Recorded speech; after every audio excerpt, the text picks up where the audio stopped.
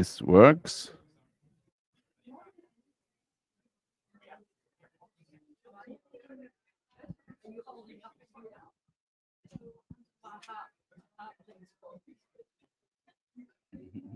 Well, hi everyone.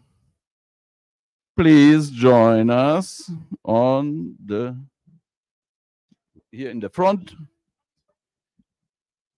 Ethan is around, but uh, he's not. Uh, uh, he was here, but, but yeah. So, Anas, will you join us here in the front? if you want, no, Just right here. just anywhere. huh? Yeah.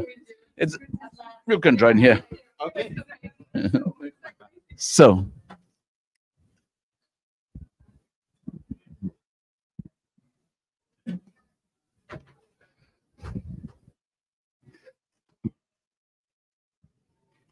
Melissa, can you also, also look uh, whether the camera is in a way that it catches everyone? Yeah, I don't need to sit. Uh, okay, it's fine.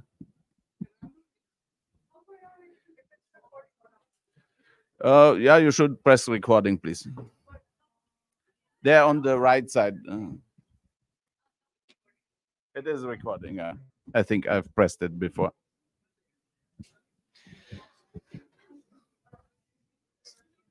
So, good morning, everyone. Greetings from Dubai. Salam alaikum. Bravo.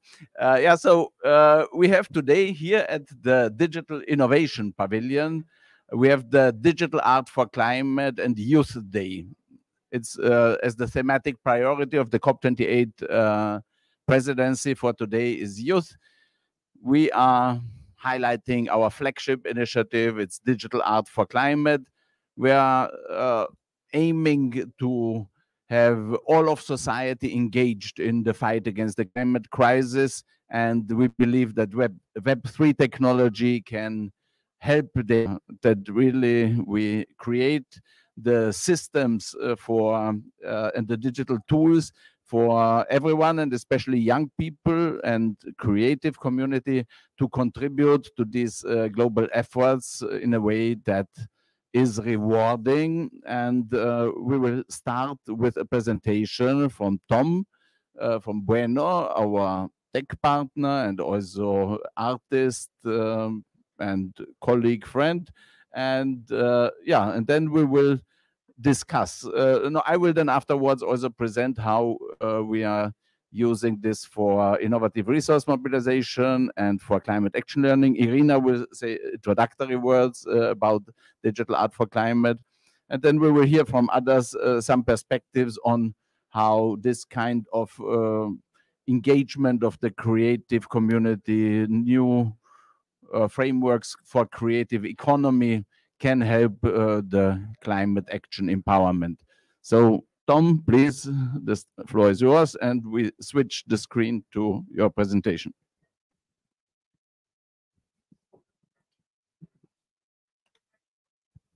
Yes, I think. How do I change the?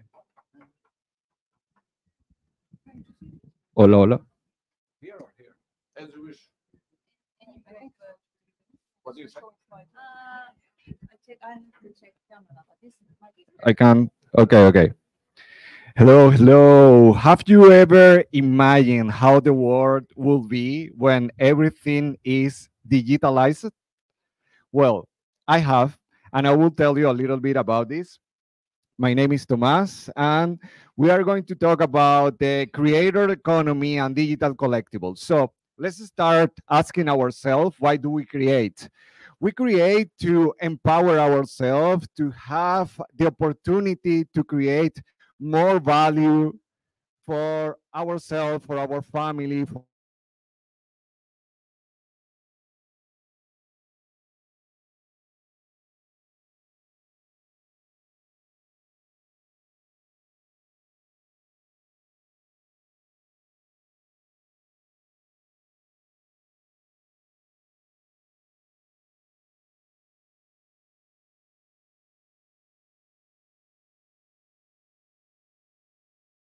inspiration to do our creations. So we can overcome these challenges thanks to the blockchain. So with the blockchain, we can have and meet like-minded people and build a community. We have uh, we can have our creations and our artworks certificated and authenticated. We can find, thanks to the blockchain and the digital economy, a source of income for our creations. Also, we can trace our assets. We can know who bought our asset, who sold our asset. Independence. We we don't need uh, galleries. We don't need curators. We can be our own curators and our own gallery thanks to the blockchain and the digital collectibles. So, what is blockchain? Imagine blockchain as the younger brother of the internet. We know that the internet is um, a place, a digital place that works thanks to a lot of servers, but these servers are centralized. You know, for example, Google, for example, Facebook, all our information is in those servers. What will happen if someday Google get hacked, of, or if Facebook servers got in a fire. We are going to lose all our identity, all our memories, all our information. But the blockchain, as I said, is like an internet, but it's decentralized. The information is in nodes, and nodes are everywhere around the world. Everybody could have a node. So the information is decentralized, is borderless because is community owned, is transparent, you can trust in this information and is very secure. Another thing that blockchain allows is to have currencies. These currencies is the ones what that we use to have to own or to buy digital collectibles. So what is an NFT? What is a digital collectible? An NFT is a non-fungible token. So non-fungible tokens are used to identify and prove ownership of this content, to prove and identify ownership of these assets. You can trace, uh, you can have traceability and transparency of the works of the piece of art that you are creating.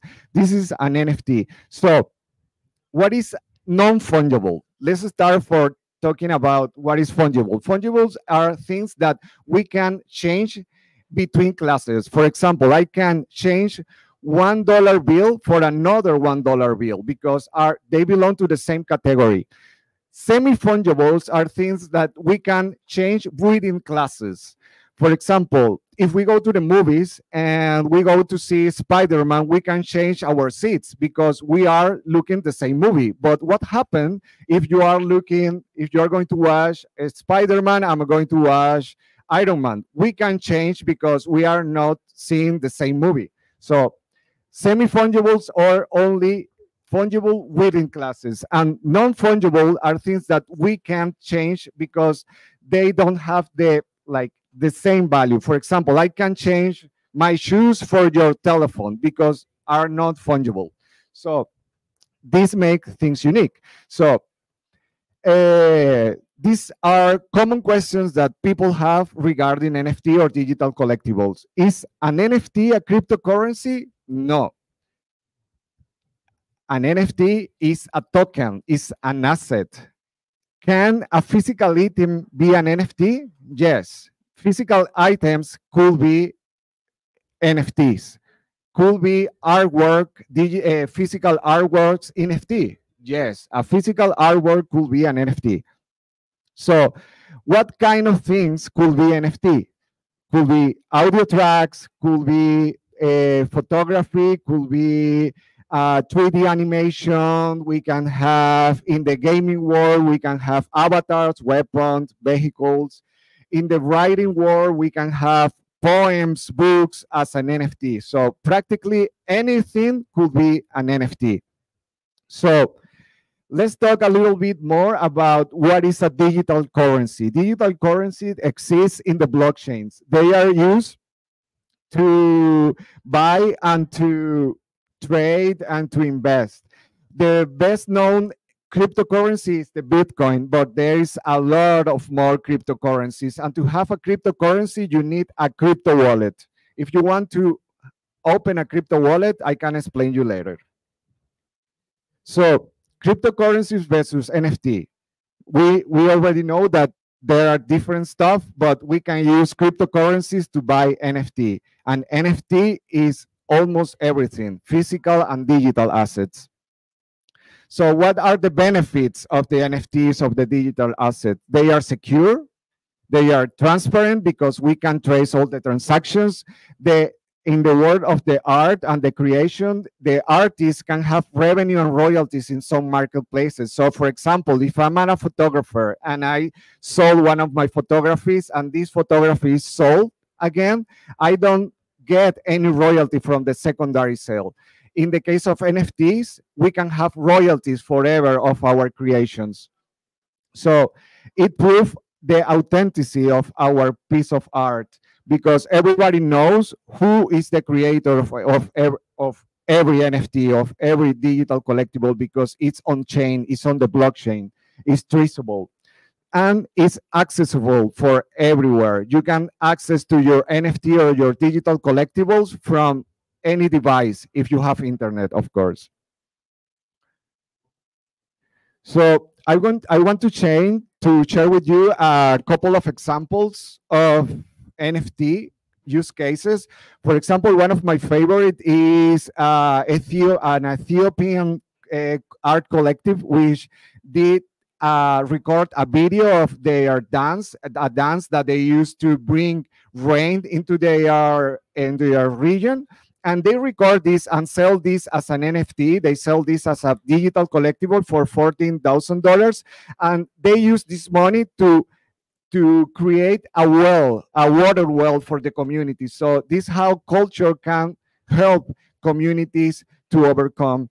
Also, the Medusa collection is uh, 6,000 pieces of medusas, different medusas, which were sold, and the money that the artists got from this collection were used to educational initiatives. So we can, with our imagination and our creation, we can bring good with the world for the world.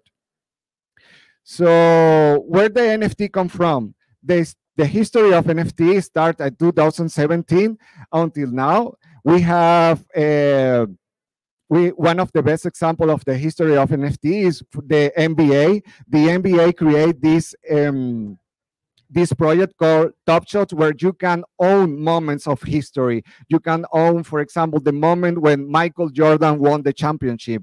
You can you can buy that NFT. You can buy that moment because that moment, of course, belong to the NBA, and the NBA can solve those moments.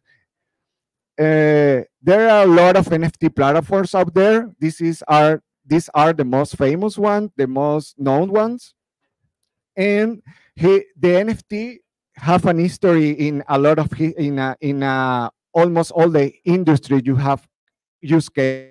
These examples are for example, in the fashion, Dolce & Gabbana launched a collection of NFT, of an exclusive collections. You can use the wearables in the metaverse, but also you can have the physical ones. In the gaming, there is a lot of examples, but in the impact world, we, we have uh, this example of the carbon drop, which raises $6.6 million for the Open Earth Foundation. So if you want to launch your NFT, you can reach me out. I will help you to do your digital collectible and for your time.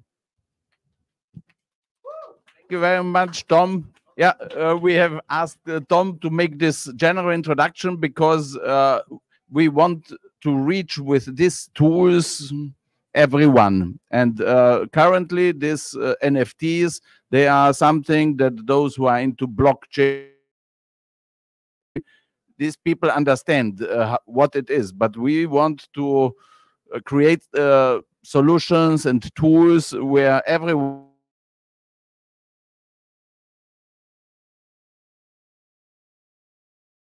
technological details about. And here today this event is to start the journey so to say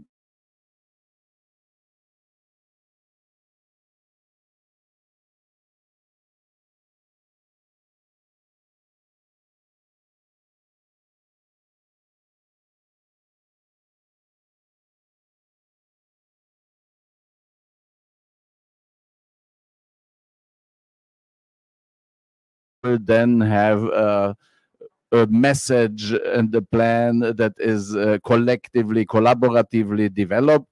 And talking about cooperation, let's uh, listen to Irina Karagyaur.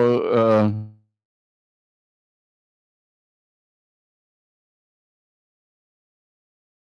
uh, expert and the mother of digital art for climate, the co-coordinator of digital art for climate. Um, thank you, Miroslav. Uh, so I'm happy to welcome you all here at the Digital Innovation Pavilion. We began this initiative back in 2021.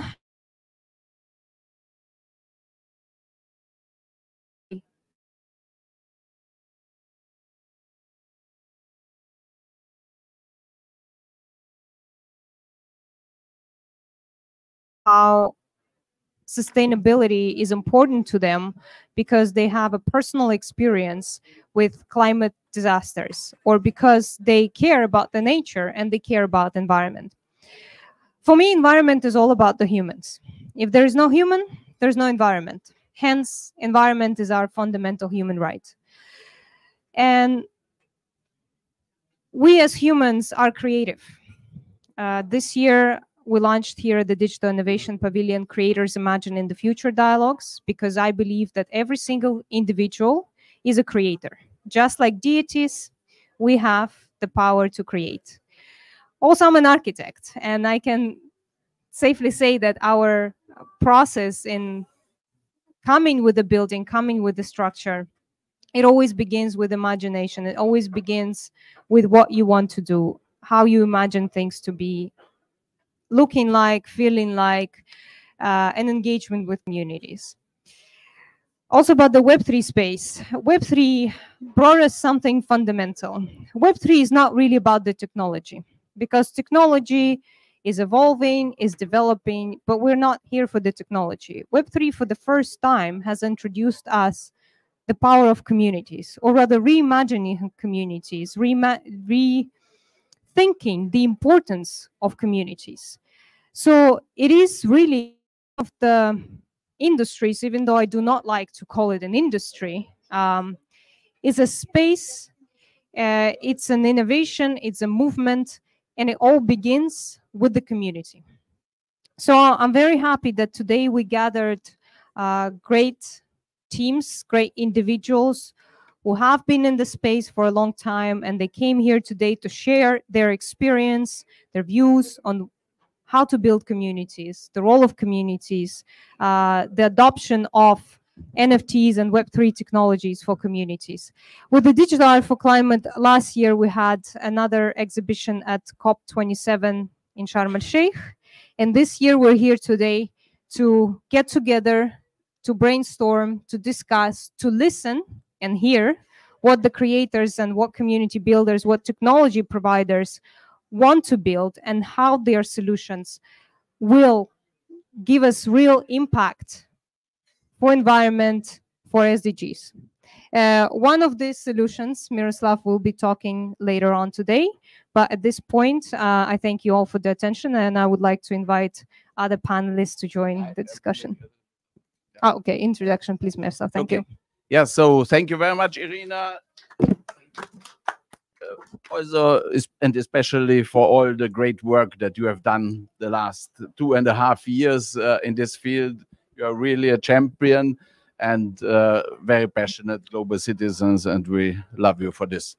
So, uh, we've heard from Tom some basics and about uh, make it possible to have new type of creative economy but uh, the possibilities of web3 technologies be- go beyond this and uh, the web3 technology potentials for all of society potentials. And uh, our um additional pillars uh, of this um, potentials i will show you here. And this was something that was presented at the in the context of the UN high level political forum for sustainable development last year there was a special series of uh, events on SDGs learning innovative learning uh, for about global goals and uh, bringing them to the schools and we've presented now our digital art for climate idea So uh, it says that it's a combination of climate awareness raising and public participation through a global art competition. This year it will be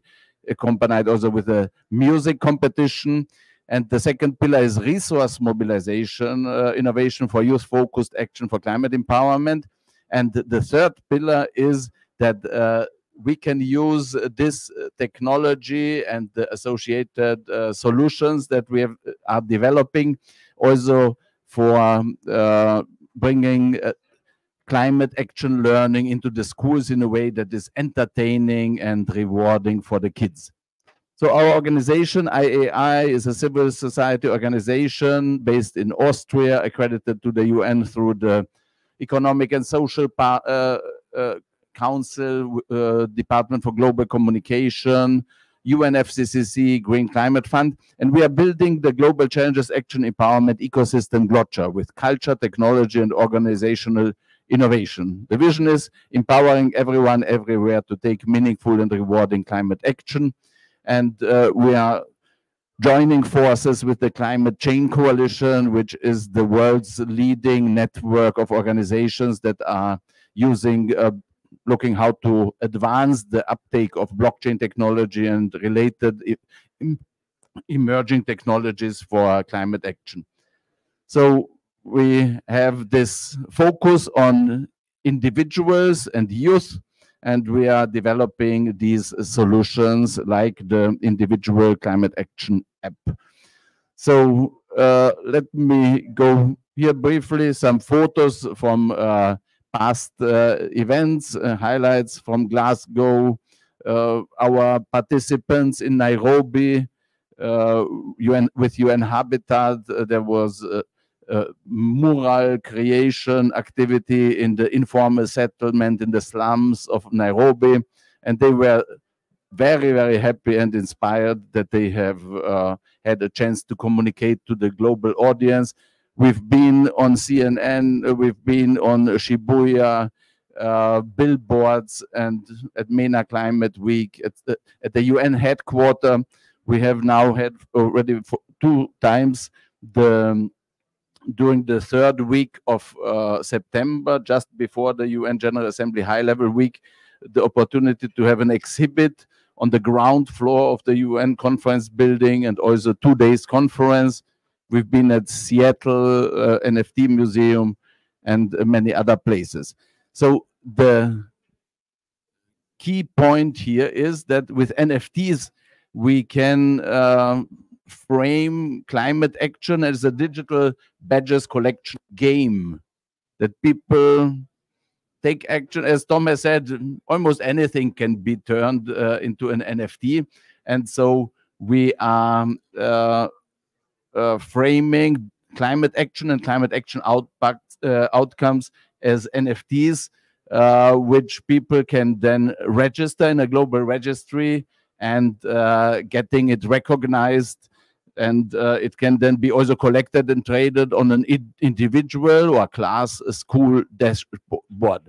This is a very basic idea of uh, this um, global registry that will then turn an NFT into an impact NFT because uh, only if we have the relational information between the creator minting an NFT the somebody who wants to support these causes buying the NFT and then uh, the money from the purchase going to uh, the projects and the project generating action. And if we have between these entries the relational information, then at the end, the one who the creator and also the ones who are buying the NFT can uh, get attributed the actions and the action outcomes that they are enabling to their wallets and so they can build a legacy. They can really feel that they have done something rele relevant. And this uh, is uh, the idea that we bring around digital art for climate um, this topic into the school.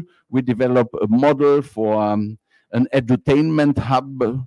Very simple tools about nfts and uh, digital identity uh, digital finance uh, registries and this kind of things.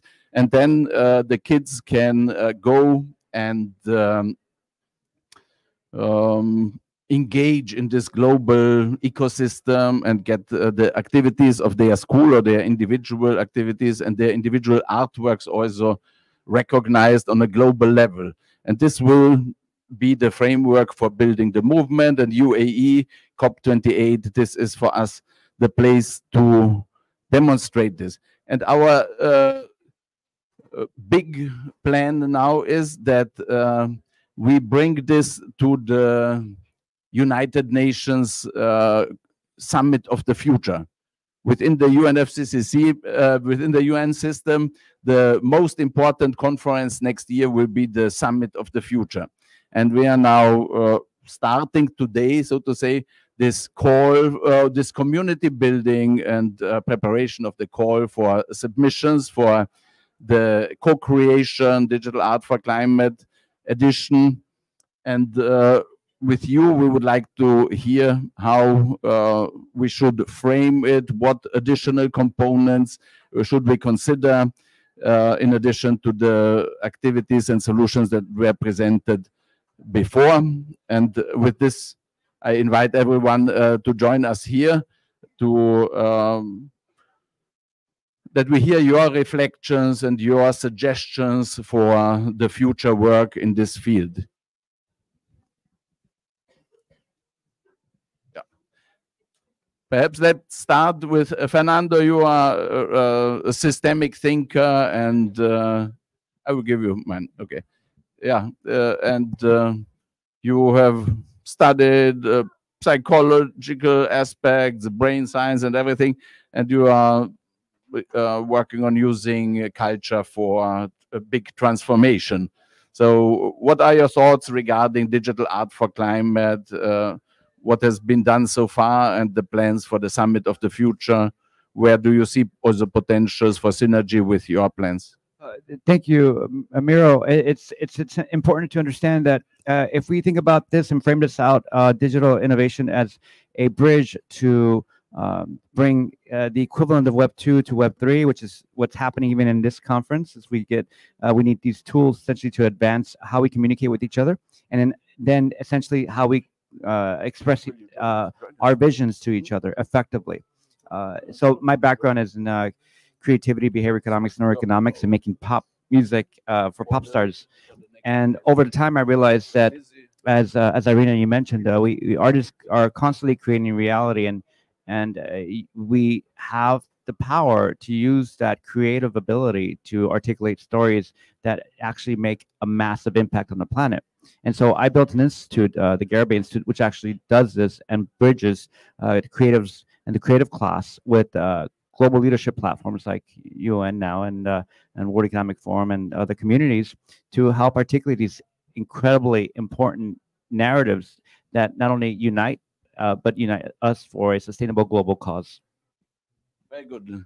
Uh, would you like to uh, say a few words about? You have been now with us on this journey since more than a year, and we are preparing uh, also a uh, digital art for climate, the Japan uh, program. Would you like to share on the past and the outlook for the future? What do you think?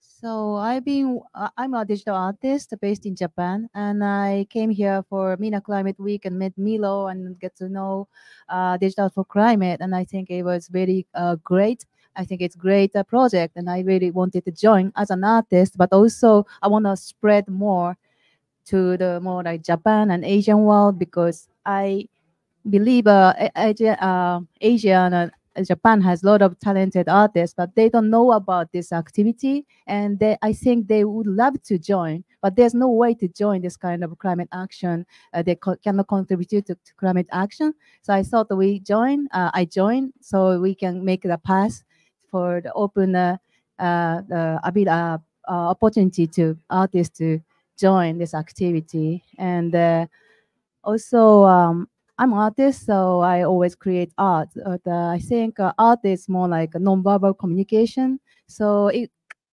it's uh, over the language, uh, then it uh, it's uh, kind of talk to passion and the spirit and the mind. So the it helps the people to um, aware uh, raise awareness and uh, and want more to know and get to know and want to join to this kind of activity more. So I I believe uh, so that's why I joined last year and now today we're gonna announce uh, we will make uh, digital for climate Japan as well. So I'm really happy to be here. Thank you. Bravo. yeah. Yeah, we're happy to have you with us. And uh, as you mentioned, non-verbal communication, and uh, it's also music is non-verbal communication. And with Christina, we are on this journey already for more than 11 years now. And uh, it's uh, tell us a little bit about the transformative power of music and uh, perhaps also uh, you as somebody who was knows this too. Yeah, yeah, I mean, my goodness. but also uh, we have started uh, as a standard competition uh, global challenges youth music contest for the rio plus 20 summit. And now we are adding this next level of technology. Do you see a problem in it or more an opportunity? Well, you know me, because I'm challenged. Technology is very difficult for me. However, I see, I mean, I see the beauty of it, and I certainly try to to adapt my my talents to it. However, I, you know, it's all about a balance, and it's all about bringing, you know, the love of humanity together with the technology. Because when we can marry that, then we have a movement. Then we have a balanced world. Then we have a world that's actually speaking from the heart and actually take making changes and making movement in a very positive fashion because you can do all the technology you can and you're still kind of talking to yourself but the minute you open your heart uh, with your art with your music with your dance whatever expression creative expression you have then you're reaching out to everybody and you're connecting the world. And that's the way that's the real change is when we start to unify and bring everyone together and work together. And i believe everyone's an artist. I mean you know we were all little children painting doing our beautiful paintings. And so everybody can it can do something. You can sing you can dance. Everybody can have a great expression. And that's what that's kind of what our our competitions now have kind of moved into. It's into express your art and then and then see how we can change the world. Okay. Yeah, beautiful. Yeah, and uh, mentioning also, you have worked a lot with UN Department for Global Communication, and that they are also uh, a partner in this. Uh, that we are. Uh, so this is somehow in the UN Secretariat, the office which is trying to amplify and to communicate the work of the UN system to the world. And they have a civil society engagement unit, and we are associated partners there and also uh, our youth delegates are among the the leaders uh, in this uh, mechanism and so we will really use the whole UN system communication system for amplifying the voices and uh, bringing hope and engagement opportunities uh, action opportunities contribution opportunities to the uh, people around the world and especially also to young people. And uh, ethan is uh, a champion that is uh, doing in his environment in los angeles really great work please tell us about and uh, what it also uh, appears to please yeah Yeah. Um, I mean, I think one thing to talk about uh, what what I do right now, my background actually is is maybe where I'll start. My I I went to school for fine art and was a visual art major. Um, and I had at a young age a, a pretty interesting career in the arts. And I left school early after like six months because I wanted to work in the climate space. Um, and art wasn't doing that for me or wasn't giving wasn't allowing me to do that. Um, and then so it was kind of like a pendulum swing where I was like doing only art and it was just about me and self exploration. And I said, I don't want to think about myself. I want to think about other people. And I, and there's a common notion, I think, that art is about self exploration and self inquiry, which it often usually is. But for me, it was like too much, and I wanted to think about the world, and I couldn't help but think about the world. And anyways, I the pendulum swung, and I started working on this project called Here, which was more of a bird's eye view and really not about me and more about asking a lot of people different questions and asking people what are you here for? And i i kind of think that the art that i practice now is is inquiry with other people and listening um, and and learning. That's become an interesting sort of art for me i think. Uh, and so what what my project does now is we create uh, workshops festivals, uh, content, and technology that help people take action around the causes that they are here for. So, yeah. Wonderful. Thank you very much for the great work that you're doing, and we will try to connect uh, as, as as an example that these local efforts they need a global home also where then uh, the connections and the relevant the global relevance is amplified. Anash, uh, I may ask you, uh, you are an expert in uh, Web3 technology, DAOs, innovative resource mobilizations, uh, and you are here from the UAE, the COP28 host country, which has really a strong focus on innovation. Uh, and what are your thoughts? And uh, also, uh, are you aware of uh, initiatives that are out there where we can create synergies with? So, brief introduction to me. Uh, my name is Anas. Um, I'm the founder of ArtsDAO. I lead one of the largest Web3 communities here in the Middle East. Last year, we raised about $1.5 million to deploy into digital art. Um, I've personally invested more than half a million dollars into crypto, NFTs, a range. So, you know, we discussed NFTs earlier. We have like two crypto punks. We have a lot of uh, heritage NFTs and things like that we also host our own festival, which is just a, little nod to you. A couple of things, a couple of things that I wanted to, to note is that I believe Web3 uh, has the capacity to mobilize serious resources in the fight against, um, you know, climate change. Um, I've been affiliated with Klima DAO in the past, a DAO which raised funds to deploy into you know several different types of initiatives. I believe they're here uh, at COP28 this time they have a full-fledged DAO which raised money from the public completely to deploy into a combination of initiatives to plant different types of trees, initiatives to support the reduction of carbon emissions, um, policy actions against you know major uh, fossil fuel kind of producing uh, organizations. So you know, my, at ArtsDAO we, we don't we don't uh, do that kind of political advocacy. Um, we would love to if we if we can. It- It's not that easy to do that kind of thing. Um, what we have done is support a lot of uh, charitable initiatives through the power of community. The power of community is something that's quite palpable. Um, when you have a movement, a story to tell to a large number of people. So we have about 800 members at ArtsDAO, all of which are on the higher echelons of kind of UAE society. Many of them, you know, collectively have a net worth in excess of three billion in wealth. This community can do a lot with the right story, with the right kind of initiatives behind it.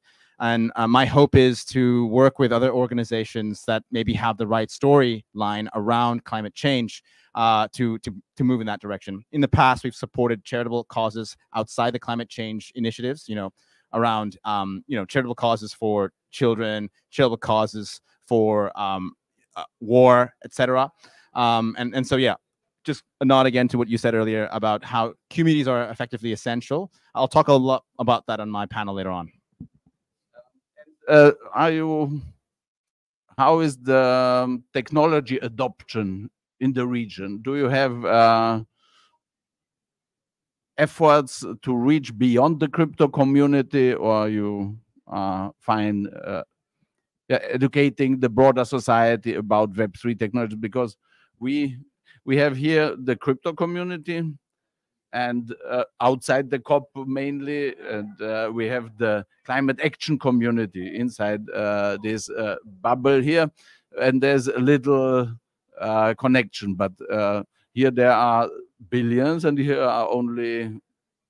I, don't, I think they're altogether 200 million, or I don't know how many wallets exist there currently, users of Web3 technologies. So it's a relatively small community, and we try also with this digital innovation pavilion build the bridge also with digital art for climate, of course, because uh, be- between the crypto solution providers and the climate action community.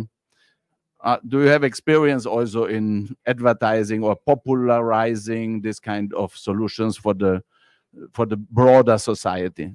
Yeah, certainly. Firstly, I'll say um, the UAE has a 30% adoption rate for crypto, which is one of the highest in the world.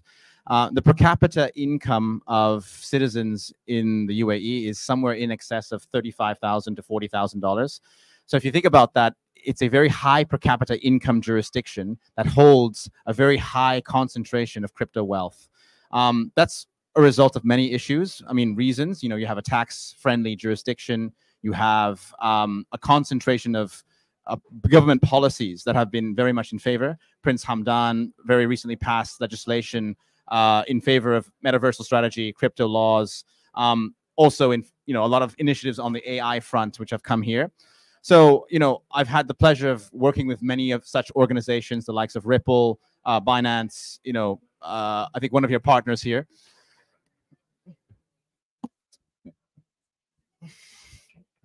What what? So what what, what I can say is simply that I believe um, you know I think I think we're, very lucky to be here, all of us. Um, this is a turning point. Um, a lot of a lot of um, interests, a lot of uh, innovations happening here in the UAE, um, and and anyone who's out here can build something uh, that that that the government will support. Yeah, this is um, this is impressive. What we're hearing from the media back in Europe is that UAE is pioneering the space, and also recently uh, there was a big conference by ITU where UAE presented a high high level strategy for metaverse adoption. Um, Anas, what is your take on the metaverse? Do you think that we're close to the adoption of the metaverse technology, or is just for the privileged, the most developed and richest countries? Okay, so the metaverse is a is it, it has several different definitions, right? You have some people thinking that is a plane digitally where we can be represented in some form. Think about Second Life.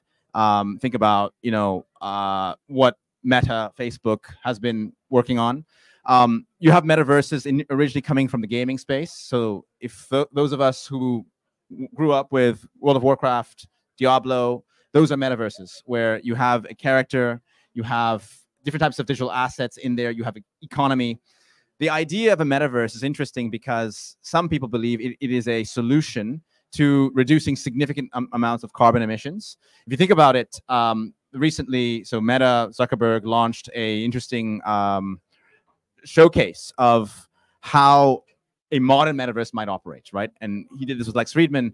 The metaverse initially looked very pixelated, but now uh, with the advancement in, in tech, it seems that it is it is very very the likeness of a person in that metaverse is very accurate. So yesterday I was um, I was in a meeting with a number of folks uh, from the Solana team, major blockchain, uh, from also a number of gaming developers. We had a discussion about you know generally metaversal strategy, etc. And the the guy in Solana, what he told me was, look, if there's a metaverse out there that can help me can can prevent me from having to fly to California because he has to fly to California quite a bit. He's going to do that. He's not interested in flying 18 hours or so every time from Dubai to California to have those meetings. We can have Zoom meetings right now, but maybe that's not good enough, right? Maybe we're not able to read body language. Maybe we're not able to understand how uh, different types of, you know, 80% of language is communicated in in non-verbal formats. So a metaverse in let's say two to three years, which is sufficiently advanced, could save significant sums of travel in the sense that you know you can meet talk correspond build business with people without the need to, to, to, migrate to a whole other region think about how much of an impact the aviation industry has on climate change every year right so that, that's my view i think it's very bullish i'm positive about the changes in the space Thank you, Anas. Mari, would you like to add to this? What's your view? How's Japan doing with the metaverse and uh, Okay. adoption? Uh, metaverse, yeah. Uh, the Japan VTuber is quite popular, so everyone having avatars. But I think, oh, okay. So metaverse, I as you said, it's really I, I think we we can be very efficient for like meeting. Like for example, this COP is the 80,000, 100,000 people flying in. And I, I appreciate, I, I think it's great thing to people together, but uh, as a carbon emissions, that's a lot. So if the yeah, we talked about the COP, uh, Metaverse COP, like last year, we ha- have this having discussion. Yeah, we did have Yeah, COP in the did, yeah, metaverse yeah, last year, Metaverse thanks to the uh, to the team who also did a uh, digital gallery, Uh-huh. a gallery with VR technology for Yeah. the uh, for the winners Mhm. of the COP27 art competition. Yeah, and that's- uh, that's as you said, a virtual human getting very high, and also the real-time rendering very high quality these days. So the existence is not so like far from your existence, and we can communicate better. So yeah, and a lot of company in Japan is also gaming industries. In Japan is a, a lot of game company, and uh, yeah, originally they already has a metaverse, and they have uh, network games. So it's uh, it's coming, I think. Yeah, and also I'm also making a festivals. So I'm a VJ, originally VJ, visual jockey. So I play visual with the musicians. But uh, when COVID happens, everything stopped. So we did a festival over the streaming. So I did VJ inside some metaverse, and it was still enjoyable. and uh, yeah, some of the metaverse has a festivals. I think uh, Thomas has a, another metaverse festival soon, and uh, yeah, I think it's very interesting aspect of uh, uh, this kind of event to meet people. Thank you, Mary. Fernando, from your perspective, um, how can we enable better collaboration and how can we get closer to the real world in person interaction, which is still preferred because we build trust when we look at each other's eyes? Here in the Middle East, it is uh, essential to meet in person to get to know each other before you start collaborating on a project. Uh, but with this technology, we there is a huge benefit to the environment. There is a huge benefit to saving our time, not needing to be in the traffic jams, flying for 18 hours, etc., etc. But how can this report be built? That's a good question. Uh, thank you. Uh, I, I do agree with with the. If we look at uh, this uh, during the COVID era, how that fast tracked Zoom to be our natural inclination and how to communicate rather than a phone call. It's awkward to take a phone call now. You take a FaceTime or a Zoom. So so that, it's a, a, a litmus to what's going to happen essentially with Meta, what Facebook is doing. It's incredible. Lex Fridman was amazing. Uh, the, the, there are certain parts. So language does um, linguistic uh, registration in our brain is only literally like five percent. So we do know that aspect, or at least familiar with that aspect. So it's very small, and uh, how we communicate is uh, beyond uh, the traditional understanding of our five senses. Right, it's multiple things happening, uh, from the olfactory senses uh, to uh, beyond. You know, whether you believe in consciousness as being local or non-local, there's a lot of interaction that we can't quantify yet with each other. So the good news is that uh, we are quick to develop our neuroplasticity in our prefrontal cortex, which is essentially a higher order thinking. So if we can adapt to Zoom and not be in person, and we're not as satisfied, but we get close enough so it's bearable and and, and getting to know each other, so that relationship can be created, this bond can be created in a very small way, uh, thanks to Zoom and seeing each other communicate and seeing on nonverbals. That's helpful. Uh, but uh, my my my fear is that we're going to need a lot longer to adapt our reptilian brain to uh, supplement the in-person and the uh, exchange that we get with bond building. But the good news is that it's going.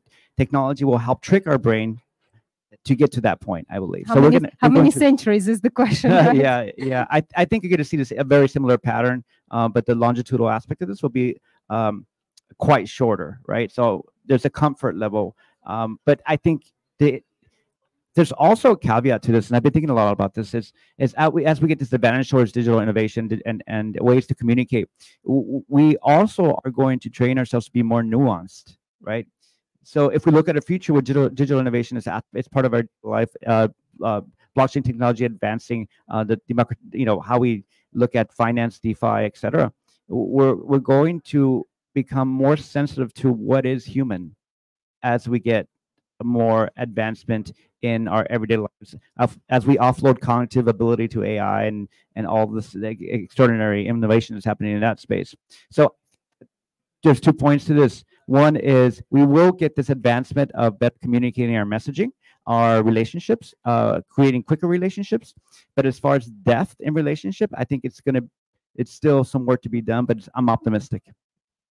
Thank you. Thank you for injecting optimism. Christina, please. Yeah, I also wanted to ask you, like, in terms of local communities and like music, because we all listen to music, and music is actually the medium that uh, has been digitalized long time ago, and we all, you know, that it's it's a medium of good vibes, good mood. You know, you go for a run, you put music, keeps you going, and this is this is an amazing medium of connecting humanity. Well, it is, but I was actually going to go into the area of how do we um, connect when we can't be uh, when we can't uh, uh, use our five senses because we do have some other senses there that we can utilize. I mean, there is remote viewing out there, but I won't go into that because that's a little far out for this conversation. But you know, I mean, I do feel that uh, the consciousness uh, um, of humanity is going to take a shift um, because there is that need as technology starts to ramp up and soar up, then there will be that need for humanity to also bring a balance there as i because i'm always talking about balance bring a balance there. And you know that's why we we begin to communicate with animals and we can communicate with animals and with trees. And you know and, and meditation is a really wonderful form of kind of getting outside of your body and touching other parts of the world. So I think that I believe that is going to actually become enhanced as technology rises. That will rise along with it just naturally, and the consciousness will probably, I feel, is going to take a, a giant leap at some point. That's the hundredth monkey. I'm going to pass. I, I, hope so because actually in the tech industry, the more you touch technology, the more you appreciate the quiet moments and going for vipassana for 10 days. It's it became a luxury. 10 days of silence, reflection, being with your own mind and like getting into alignment with your monkey in the hand. it's it's an amazing experience. Yeah, this is what's happening. So this is back to this point of how we evolve alongside technology. We evolve a little bit slower, but so like we're seeing again, identifying what makes as we get more advanced uh, digitally, we are uh, technology gets more um, and the barrier entry is lowered, right? With uh, user interfaces that are friendly to novices, uh, we get more sensitive to what's human, and I think that's really important. Uh, to what your point is, this is not remote viewing and the conversation of consciousness being local and non-local is now really readily accepted in, in next gen, right? And but it's uh, look at communities like Stanford who've been pioneering this this research. So it's it's something. Look, a, a good a good uh, parallel to this that we, we see now is you know the, in, in the Aborigine in Australia they communicate um, remotely. They don't call each other. They they have been doing this for centuries. If you look at, the Amazon forest and the wisdom that's coming out with the uh, Yawanawa tribe, uh, Yawanawa people, sorry, the indigenous people of Brazil, uh, one of the communities, they communicate their music through the forest and doing it for centuries, right? So uh, it's extraordinary what we lack when we get uh, nulled um, by and dulled by uh, by uh, post-industrial, post post post-industrial revolution. I mean, it's extraordinary. We I love air conditioning, but it's also you know there's other things that that And, uh, uh, we need to really now look at. uh, and also it's been only 100 years right of the fossil fuel that's- reality that's just correct. 100 years yeah, and- tiny yeah, tiny small yeah. part of our human history I like the idea of what timeline are you looking at? Are you looking at the timeline of a mosquito or a tree, right? And so the, I like the, the tree metaphor because we look at how to innovate from 200 years and impact of 200 years rather than uh, an hour. Thank you thank you for sharing this I want to add one little thing. Last night, I was on a beach here in Dubai, and we heard for 20 minutes, we listened to the whale, to the whale calling, and the whales can call 500, uh, 500 yard, 500 miles away. They can reach each other. So that's kind of incredible. I just want to add that because it was it was an experience of that you know that leapt us out of our body and communication and talking to each other and reaching out. Wow. If I may uh, introduce now also Melissa Jimenez Gomez uh, Tagle, uh, our delegate and team member from uh, Mexico. Uh, Melissa is working on health topics and uh, at the Technical University of Munich. And uh, you have been also with us at our workshop in which we have uh, developed uh, our programs and other elements of the logistics for the GloCha Co-Creation Festival, which will take place last week of May and first week of June in Austria. Could you add some perspectives from youth research uh, uh, co-creation festival co-organizing team partner? Yes, of course. Thank you. Thank you for the introduction and thank you everybody for being here. Um, well, yes, uh, this this project it's about how to bring this possibility of bringing art and digitalize it for um, for future generations, uh, hopefully. Um, and also, what I really focus on at the moment is on eco anxiety and how can we release this eco anxiety through the um, through the use of art. Um, there are sometimes uh, where people think, uh, "How can I, what what can I do for the climate crisis? I feel desperate. I don't know what to do." Um, they they think that they have to be hugging trees or something, so to to avoid them to be to be turned down, uh, but not necessarily.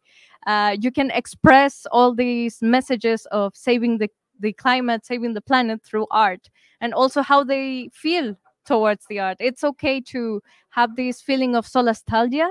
It's called, uh, which is the the fear that someone has for losing the planet, or uh, yes, uh, not being sure about what's going to happen. So, what a best way to do it through art?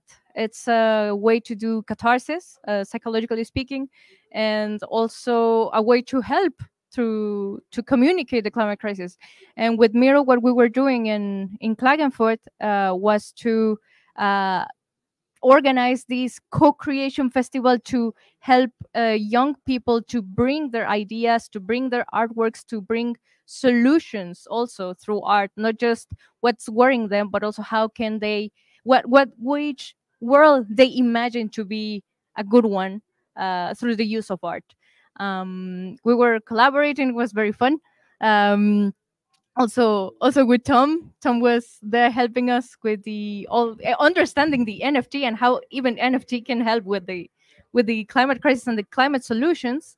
And uh, well, it so far it's been very exciting. Uh, something also new, but uh, you're never too old for learning stuff. So keep on it, and uh, we're hoping that. And thank you, Mero, once again. Thank you very much, Melissa. And uh, this brings us also this uh, uh, conversation about the psychological factor and uh, community building. The uh, the need to have spaces where we come together. it's uh, this digital innovation pavilion. It's somehow uh, one of our most successful uh, projects, uh, and I've seen uh, that it is because people want to come together they want to talk to one another and uh, it's a similar logic with our uh, GloCha co-creation festival also that people come together they don't feel so alone anymore because in this uh, fight for the climate crisis many people cannot talk at home with uh, with brothers or sisters or parents because it's a different world, a different mindset, and you feel often so lonely.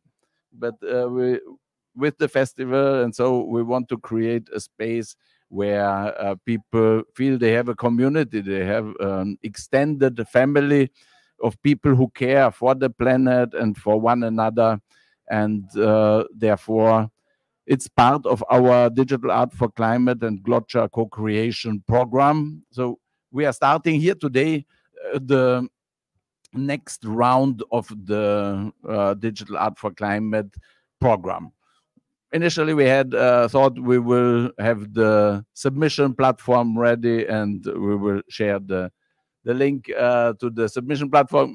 I have to admit we don't have uh, the submission platform ready. We will announce at the press conference more a homepage uh, on uh, where the content will be and where the uh, the possibility will be to on enlist uh, in the community and uh, enlist also in event announcements for uh, community calls and having then the real launch of the submission page in January. But yeah, so we have the art and music uh, submission uh, program, and uh, we expect to have um, 500. I would say is somehow our target uh, for submissions. That uh, we will have them, and then we will uh, go and have um, a curation, some kind of uh, creating a group of finalists uh, where then people uh, which we then put for up for public voting. And then uh, at the co-creation festival end of may first week of june we will present the winners of this public voting and we will have an edutainment show. Uh, we have booked a youth camp uh, in austria in the province of carinthia kärnten where i live we have a youth camp for 120 people, uh, and we have a booked uh, cultural center for these two weeks, uh, which uh, has a capacity of 250 people. And there we will then uh, produce an edutainment show, bringing the stories from the artists that we are working with, from the submissions, from our finalists and winners, some educational components, some hands-on uh, experiences with this um, uh, co-creation educational hub uh, program. We will see. Perhaps we have by then already a school or so which is uh, uh, test uh, implementing this, and then we are going. We will learn from what how this will go there on a relatively small scale. We are then planning to have programs at the, UN headquarter in New York. I've mentioned before we have now for two years already conferences there and uh, exhibits. This we will do again next year in September. And in addition to this, we will have uh, an edutainment event also in New York. On what, what scale we will see. We have uh, the ambition to do it uh, within the UN headquarter, but it's a big effort uh, financially and logistically but we will see. And um, that's that's a little bit of an outline uh, of our action plan. Uh, but let me invite also Alex, so that we see that we have a global reach. Alex, bring our 1.3 billion uh, Chinese. Uh, uh, fellows, uh, fellow global citizens into our movement. Uh, We've worked together uh, already in 2012 for the Rio Plus 20 Global Youth Music Contest, and it was a very wonderful experience. You had a big uh, event uh, in, In China. in China, and then since then we are friends, and we will certainly collaborate also on the Digital Art for Climate co-creation program. Sure. Um, yes, we work in uh, in the in the uh, twenty uh, yes 2012 right uh, 2012 and uh, and um, uh, for the the road to Rio Plus 20 I think um, as Miro mentioned um, Miro has been a champion to mobilize local uh, action local voices to empower young people. And uh, himself has been a role model for everyone to inspire us.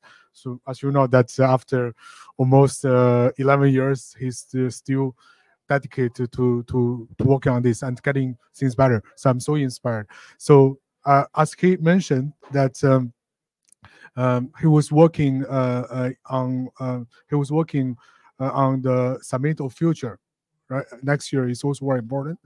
I'm thinking that um, uh, there are a few things we can definitely work together and uh, and number one is that um, number one for the music contest for other contests for the local action contest we can definitely mobilize in national level how we can work with um, iai and glocha how we can really work together and um, get things done and to, to try to mobilize uh, local engagement number two uh, is that um, uh, Mention has been also a champion uh, Miro. Miro has also a champion on the digital innovation, and he's the first person to talk with me about blockchain, and uh, uh, and uh, uh, what's that capital? Uh, the the how to what's the most famous uh, crypto? Uh, yeah, Bitcoin. So he's the person to tell me Bitcoin and uh, and uh, and uh, and uh, all this blockchain. If I listen to him, I will be uh, become a millionaire, right? So many years before before Bitcoin really go up, and I think his advice very uh, his very advice follow all technologies. But the, the difference between him and other people is that he really want to use all this new technology into how into climate actions. So how to how we can make best use of uh, um, this digital innovation into climate action is not only purely making money or you know create some coin and sell to other people. No, he, he's he's not interested in that at all. He's always talking about how we can use in blockchain technologies uh, on climate action. Although he's not in this major, but uh, he he become expert. Uh, this is really, um, you know, this is really um, also like you know like uh, aligned with what uh, 2006 Nobel uh, Peace Laureate Professor Yunus uh, um, philosophy that uh, he formed a global committee on social business uh, for sustainable goals, and um, um, there's one thing he he uh, there's one quota he will he address UN General Assembly is that um, he think the the most adaptive way to achieve sustainable goals number one is uh, apply the methodology of social business, which is Miro has been done for more than two decades, uh, two two decades, right? Uh, and number two, unleash the use creativity, which is uh, Miro has been uh, done for, for many many years as well. Number three, make best use of the technology, which is Miro is doing in the past ten years. So he, he has been a role model. Uh, so I think uh, we can really work with IAI and um, all the different um, partners on digital innovation pavilion. That's uh, how we can because even we are talking about digital innovation uh, this crypto or this blockchain for climate actions we still need people to work on the ground. Otherwise it's you know it's just a paragraph of code code. So we need also people and, you found that the most interesting thing is that uh, the people who are working on web3 and digital innovation are the people who like offline events most.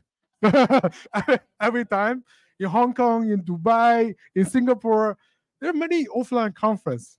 So go to offline. So you found that these people who are promoting web3 they meet offline. And then other people they always talk, oh, let's meet in metaverse, but actually they're doing something offline, but they want to meet online. So you see that this is a cross-sector cooperation. I think in this field, we can my, you know, like a 10 million mistake is I didn't really listen to Miro to learn Bitcoin and uh, and and uh, blockchain when he talked with me like many many years ago.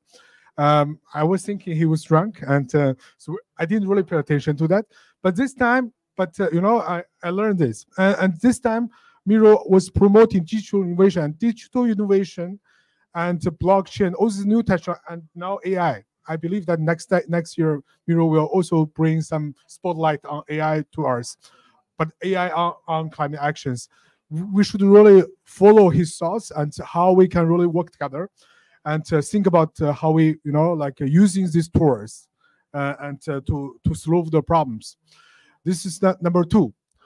Number three is that um, uh, there are also like Miro. Since I know because I know him many many years and we work together. Miro has uh, done a lot of things to empower the local change makers and young people, and uh, it is very very important. You know, like uh, we don't need to change people who attend this. they thought they said there's hundred sons. We don't need to change these people but we need to work together with everyone to change others, the other almost uh, 7 billion people who are sleeping on the beach.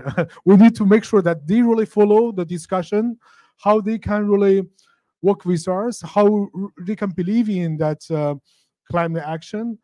And through this, I think what Glocha and uh, AII is doing is very, very important. And they're very active on all these uh, UN important meetings. Uh, and he's passionate on the uh, uh, on the mobilize, talking with everyone, uh, mobilizing everyone. I think this is, uh, I'm so inspired by him and uh, we'll follow his path and follow his guidance. And uh, we are so looking forward to work with Miro and AI and also every, all the friends in this community. Thank you very much, Alex. And I promise that I didn't pay him to. I will, I don't believe it. I will, I already sent the bill to your WhatsApp. I, I will charge you. Yeah. no, but uh, what we've learned also in the cooperation with Alex was that uh, music is really a bridge between. Uh, we've had uh, this uh, competition in 2012, and uh, we've had 310 submissions, and there were, I think, at least 40 from China. And this was so new because in our mind, China is a white spot on the map. And uh, there's some kind of uh, communication voice between us and this uh, global community is not really communicate a lot with uh, chinese artists musicians youth and so but with the music it was possible. This is a first learning. The second learning was that uh, you've invited me last year to the china pavilion at the cop 27 in sharm el-sheikh and uh, their civil society has presented digital solutions for the climate and I was very impressed what's going on, and somehow from the intervention logic, and so the same uh, thinking, the same values, uh, like we have, uh, the same understanding that the the citizen has the power and the, the somehow uh, duty.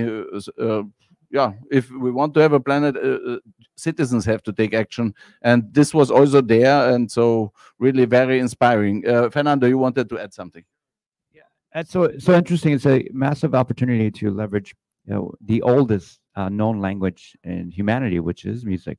It predates language, right? And it's there's there's um it's you know I work with one of the biggest mm, uh, Chinese artists. Well, it's Singaporean, but JJ Lin, and um, and uh, yeah, yeah, I learned a lot about the opportunity there to um, create an opportunity and leverage music as a way to unite and unify. And so that's just back to what I've been working on by doing and why I'm here is to support you, Miro, and and and the pavilion here, digital pavilion, as well as the, the incredible work you've done to educate the world of the importance of technology uh, to bridge us together rather than apart. And I think that's where we uh, line up with music as well as uh, launching our soft diplomacy initiatives um, with music here. Um, we'll have a surprise tomorrow to launch as well. Yeah, wonderful. Yeah, and we are delighted to have you here. Perhaps a word about the power of celebrities briefly. Also, you are, have worked with celebrities. Have you have successfully worked with celebrities on uh, promoting global causes? Well, uh, yeah, I, I'm most of the artists have, uh, that I've worked with have um, global cause in, initiatives. You know, from this from Lady Gaga and the Born This Way Foundation to you know even Paris Hilton, Bruno Mars, and Sia, and all these artists are are are global citizens at heart and have been from day one.